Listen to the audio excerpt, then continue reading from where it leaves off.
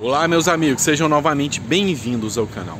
No vídeo de hoje eu vou falar sobre uma portaria editada pelo INSS, portaria 1267, que trata sobre as formas em que serão é, feitos os procedimentos do adiantamento do 13º. Mas na verdade é uma portaria que ao meu ver é absurda. Eu vou te explicar o que, que essa portaria faz para que você possa entender.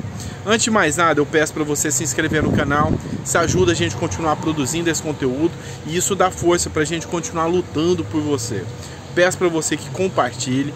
Se você não me conhece, meu nome é Sandro Gonçalves, sou embaixador nacional do direito dos aposentados, pensionistas, idosos e pessoas com deficiência. Então, peço o seu apoio aqui para o canal para mim poder continuar lutando pelos idosos e deficientes do Brasil, tá bom? Vamos lá, pessoal. O que, que eu quero explicar para você? É o seguinte: é, essa portaria que foi editada, ela vem a regulamentar é, esse adiantamento do 13 terceiro. Presta atenção. O que, que o governo está fazendo? Ele precisa injetar dinheiro na economia. Ele vai pegar o seu 13 terceiro, assim como ele fez em 2020, e vai adiantar para você e vai injetar isso na economia. Só que ele está criando uma dívida para você. Se você não sabe, o governo está criando uma dívida para você.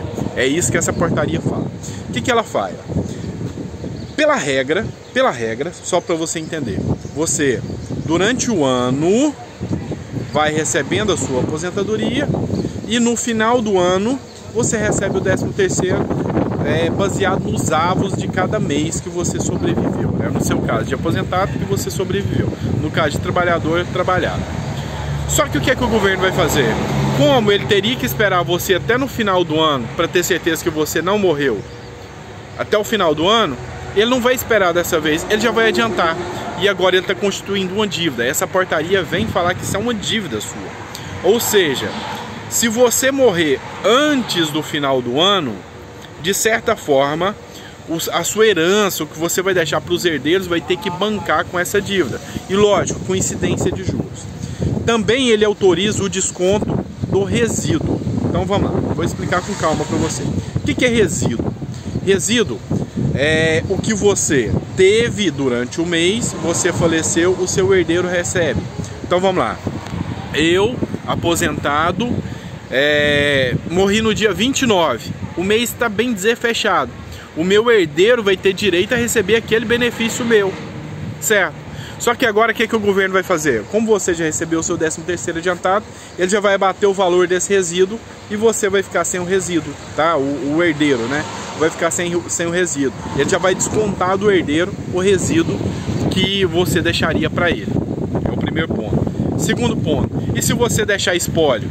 Se você deixar herança para o seu filho? Se você deixar herança, o governo vai poder processar o seu filho por causa do adiantamento do 13 terceiro. Sim. Então, por exemplo, vamos dizer que você deixou um carro de herança.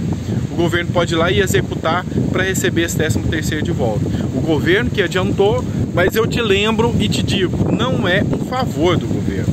Não é um favor do governo. O governo quer fomentar a economia. O que eu faço aqui é te abrir os olhos. Muitas pessoas me ofendem, muitas pessoas. Eu vou fazer um próximo vídeo só com ofensas aqui de pessoas que acham que eu estou falando mal do governo. Eu não estou falando mal do governo. Eu estou falando o que o governo está fazendo. Não tem como você questionar, porque são fatos. Está lá na portaria, tá?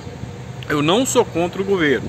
Eu só falo o que o governo está fazendo. E nesse caso aqui, ele está adiantando o seu 13 terceiro e está te constituindo uma dívida, tá?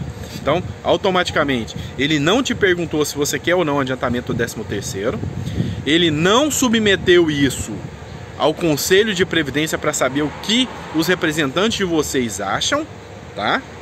Mas ele já te constitui uma dívida compulsória, ele te obriga a constituir essa dívida, porque ele adianta o seu 13 terceiro, vai descontar de vocês. A única coisa aqui que eu tenho para dizer é, a própria lei veda eles descontarem da pensionista, tá? Então é o seguinte, a lei proíbe, e no decreto lá já fala disso, que eles não vão descontar da pensionista.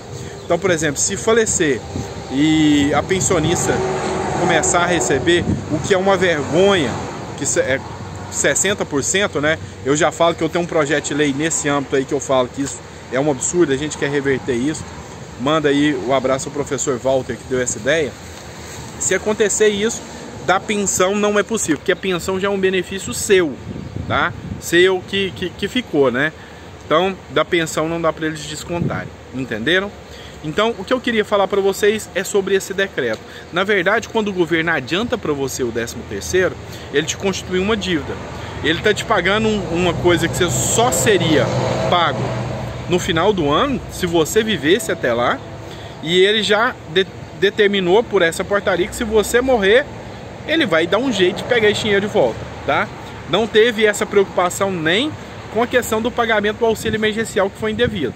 Mas nesse caso aqui em específico, ele já trata de ter uma previsão de pegar esse dinheiro de volta. Então, ele adiantando o 13 terceiro, ele já constituiu uma dívida para você.